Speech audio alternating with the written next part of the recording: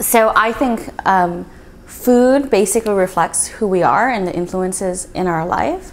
So for example, you know, I grew up Chinese American, but um, so I had a Chinese kitchen at home, but I also had a lot of American influences.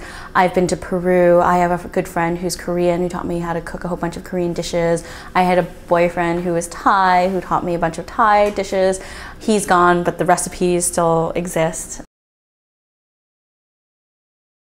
Unfortunately, because we just got back from Turkey, we have no fresh produce. We threw everything out before we left. So basically, it's dried fruit. I went to the Patel Brothers and I bought a bunch of 99 cent like uh, microwavable, I guess Indian entrees. And then we also have Korean takeout. I don't like cheese, but there's one brand of one kind of cheese I like, which is Parmesan Reggiano. I don't even know how to pronounce it. And I have actually no idea where this comes from. We have a um, I can't even pronounce it, but it's this kind of um, champagne. And then we have Vermont maple syrup.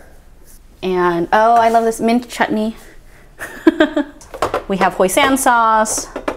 We have chili sauce. Oh my God, I have no idea where this came from, but someone obviously gave it to me.